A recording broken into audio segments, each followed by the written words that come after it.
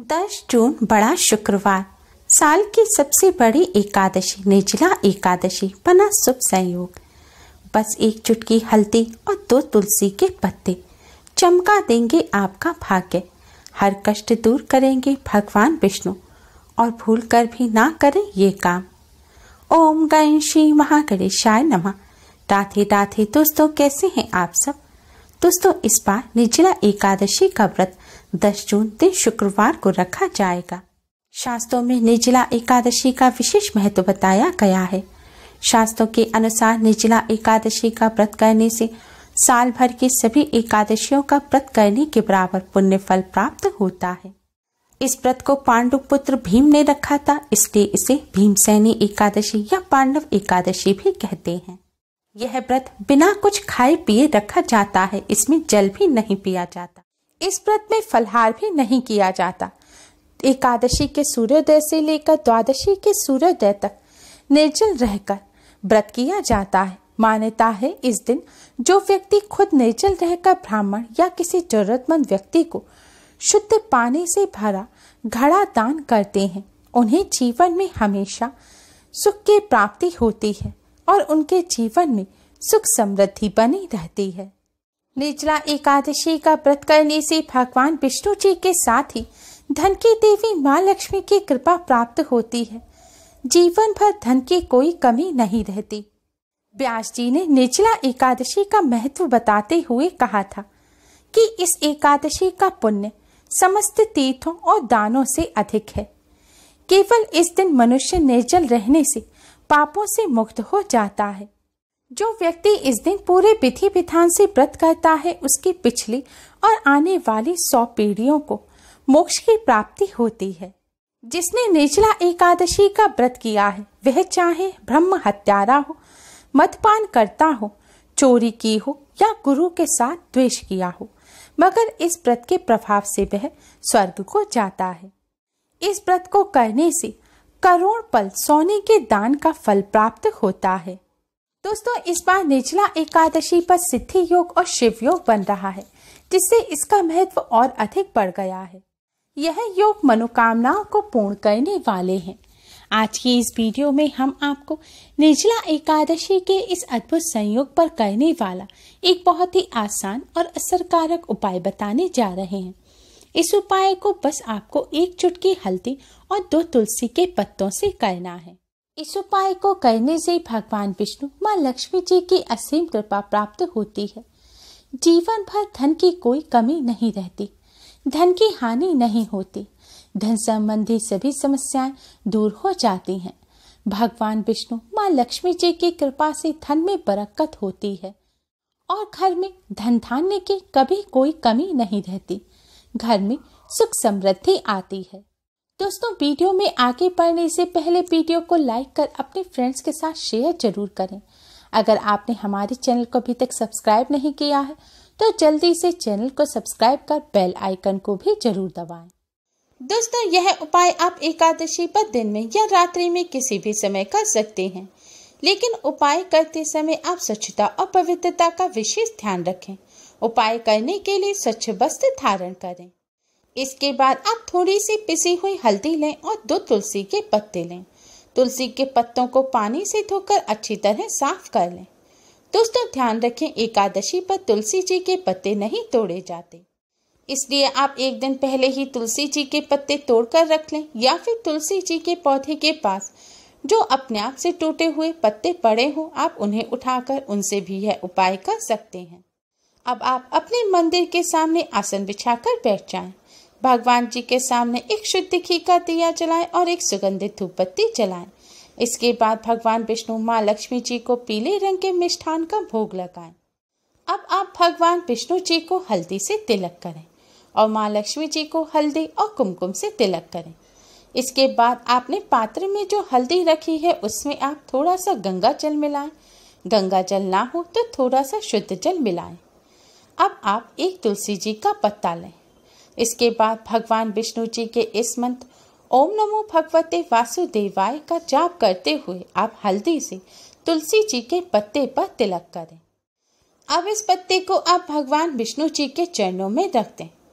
फिर आप दूसरा पत्ता लें और माँ लक्ष्मी के इस मंत्र, ओम महालक्ष्मी नमः का जाप करते हुए उस पत्ते पर आप हल्दी से तिलक करें। फिर इस पत्ते को आप माँ लक्ष्मी जी के सामने रख दें। दोस्तों, भगवान विष्णु जी के सामने आपने जो तुलसी का पत्ता रखा है, आप उसे उठाएँ और अपने हाथ में पकड़ें। अब आप ओम नमो भगवते वासुदेवाय मंत्र, भगवान विष्णु जी के महामंत्र का 108 बार जाप करें। मंत्र का जाप करने के पश्चात अब आप फिर से इस पत्ती को भगवान विष्णु जी के सामने रख दें। फिर आप माँ लक्ष्मी जी के सामने से पत्ते को उठाएँ और अपने हाथ में पकड़ें। इसके बाद माँ लक्ष्मी जी के महामंत्र। ओम महालक्ष्मी नमा का 108 बार जाप करें। मंत्र का जाप करने के पश्चात अब आप इस पत्ते को भी माँ लक्ष्मी जी के सामने रख दें।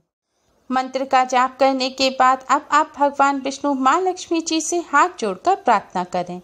आपकी जो भी समस्या है, वह समस्या आप भगवान विष्णु माँ लक्ष्मी जी को बताएँ और अपनी सभी समस्याओं को, अपनी धन संबंधी सभी समस्याओं को दूर करने की प्रार्थना करें।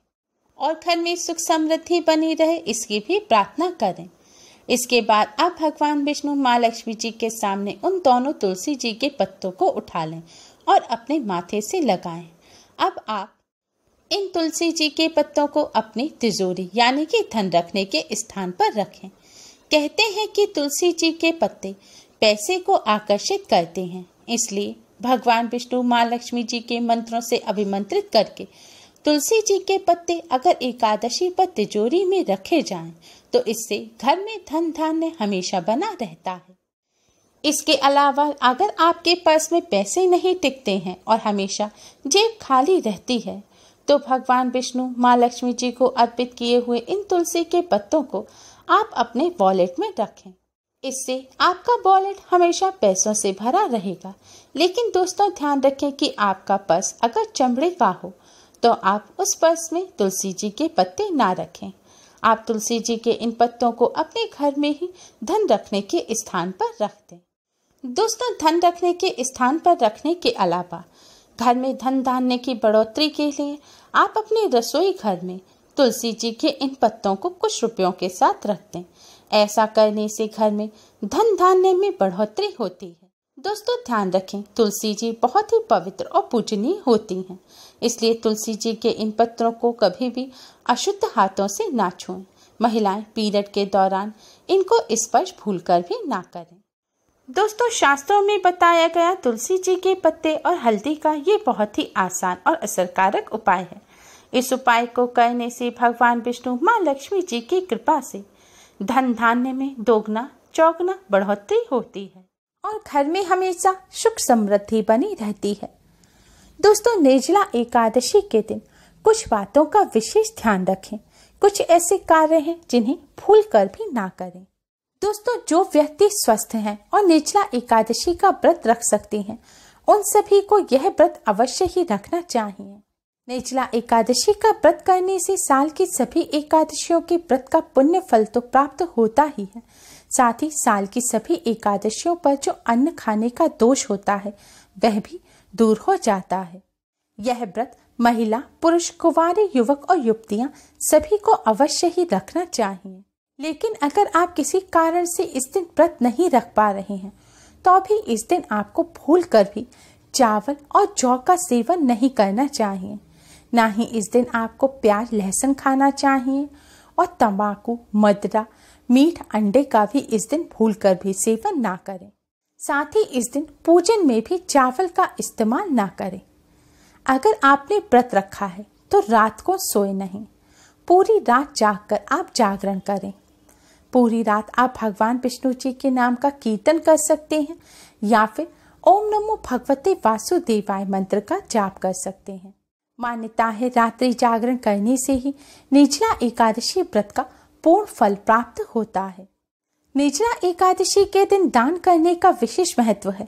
इसलिए इस दिन अगर कोई आपके द्वार पर आता है तो भूल कर भी उसे खाली हाथ ना लौटाएँ।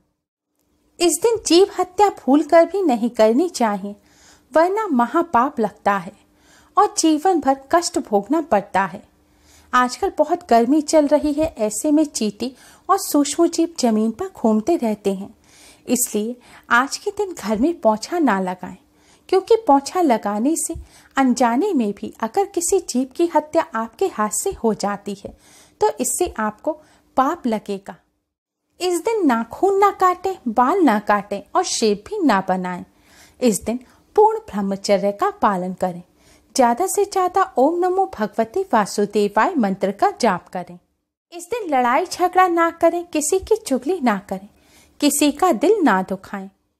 व्रत रखने वाले व्यक्ति व्रत का पारण शुभ मुहूर्त में ही करें। व्रत पारण करने का यानी कि व्रत खोलने का शुभ मुहूर्त आपको इस वीडियो के डिस्क्रिप्शन में मिल जाएगा। आज के दिन भूल कर भी किसी जीव को नुकसान ना पहुँचाए, किसी का दिल ना दुखाए। साथ ही आज के दिन फूल पत्ती ना तोड़ें, तुलसी जी के पत्ते भी ना तोड़ें। दोस्तों निर्जला एकादशी के दिन इन सभी बातों का विशेष ध्यान रखें। उम्मीद है आपको हमारी ये वीडियो पसंद आई होगी। प्लीज़ लाइक करें। हमारी इस वीडियो को अपने फ्रेंड्स और रिश्तेदारों में ज़्यादा से ज़्यादा शेयर करें, जिससे वह भी इसका लाभ उठा सके। हमारी और भी वीडियोस के लिए हमारे चैनल को सब्सक्राइब करना ना भूलें। Thanks for watching Radhe Radhe